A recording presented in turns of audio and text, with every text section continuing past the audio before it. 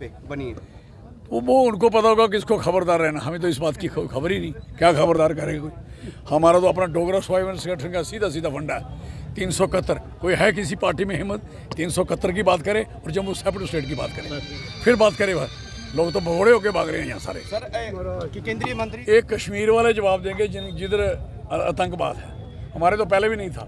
हमें क्यों आतंकवाद में हमें गिना गिना जाता है? भाई हमारे लोग ना आतंकी है, ना यहाँ आतंकवाद है। जब वो पीस है, चाहे यहाँ का हिंदू है या मुसलमान है, सिख है, ईसाई है, बौद्ध है, पारसी, यहाँ का जम्मू में सारा ही पीस है।